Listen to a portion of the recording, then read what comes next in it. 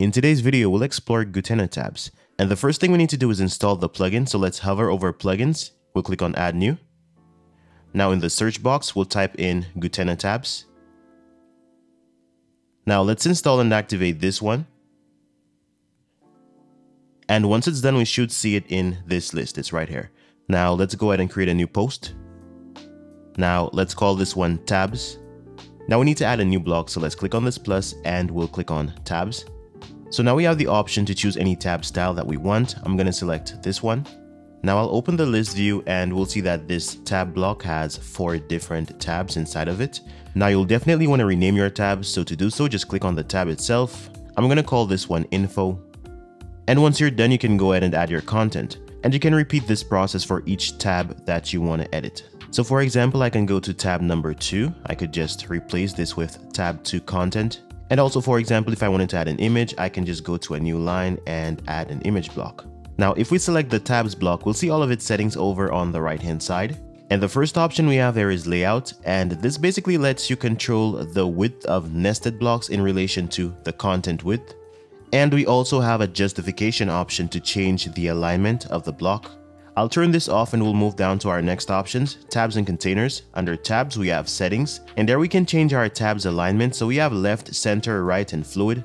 We can also adjust the spacing between tabs as well as the spacing after tabs. So this basically separates the content from the tab. We have an option to adjust padding as well, so you'll see that this adds space inside of the tab at the top. There is also an option for the bottom. Let's move to icon and there we can enable an icon. If we do this, we can change the position from top to left or right, depending on what we need. We can adjust its size as well as the gap between the icon and title. Now moving down, we have our basic typography options here as well.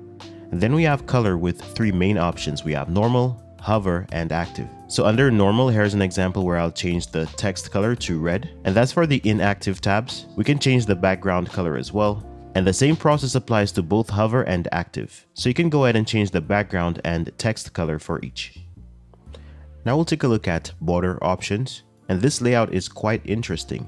Uh, we can actually add values to each sides of the tabs up here. So let's go ahead and add one pixel to each side. We'll add one to the left, the right, and the top. Now for the active tab, let's add three pixels to each side and we cannot see anything as yet because we have not added a color for the border. So let's go ahead and choose a color.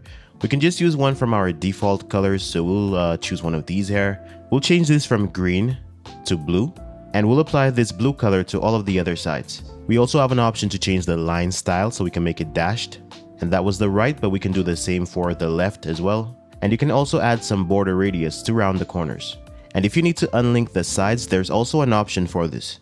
Now the next option here is box shadow and again we have normal, hover and active states. We can go ahead and turn it on. Now if we scroll down we'll see three main options to change the intensity of the shadow and we can also use this color picker to choose a custom shadow color. And finally we have responsive options for both tablet and mobile. So now we'll move to container and here we have a color option and this is for the tab's content area. So here we can change the background color to this pink for example. And if you want you can also go ahead and change your text color. And if we go to border we can also adjust the padding for the tabs. So here's 100 pixels and here's 20 pixels. And we have an option to add box shadow if we need to. And once you're happy with all of your settings, you can go ahead and click on publish. And now you can go ahead and view your post or page on the front end. Now, if you want to delete a tab, all you need to do is click on it, then click on the delete icon, then click delete. And if you want to reorder tabs, simply click on these side arrows. And finally, to add a new tab, click on the plus icon. Alright, so now you should know how to use the Gutena Tabs plugin. Thank you for watching and see you next time.